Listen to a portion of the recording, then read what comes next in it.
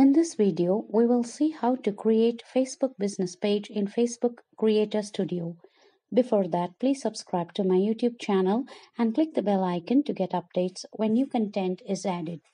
We need to go to facebook.com slash creator studio site and log in with our Facebook profile login details. Next, we need to click Pages tab located in the left side bottom of the page. And next again, we need to click Create New Page button here on the right side of the page. Next, on this page, we have two options. First option is to create business page or brand page. And the second option, we can create a page for a community group or club. In this video, since we are creating page for business, we need to select the first option. Next, we can enter the business page name here. Type in the name of our business or company creating the page for.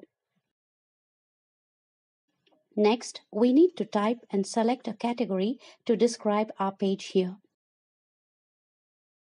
Let's continue with the process. Next, here we can upload a profile image from our computer to the business page. We can upload the company logo or brand logo to help people find a business page that they may be familiar with. Next, here we can add a timeline cover for the business page. Next, we can click Edit Page Info in the top menu and next, add a brief description for the business page for our Facebook users to get to know more about our business, activity, or product launches or projects we are handling. We can add more categories that our business page represents and so that it can be relatable to engage with Facebook audience. We can add our business phone number for Facebook users to contact our business directly. We can add our business website address if we have one here and also the business email address here. We can choose to add our business office address on the map here. Finally, we can add our privacy policy page link here and click Save Changes. Next, we can head to the business page timeline to add our first post.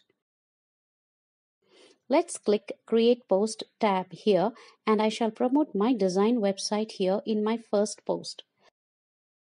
Let me enter the text content here along with my website link.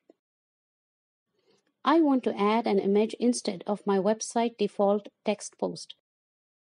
So let's select my website promotional image and upload it here and finally post it on this page.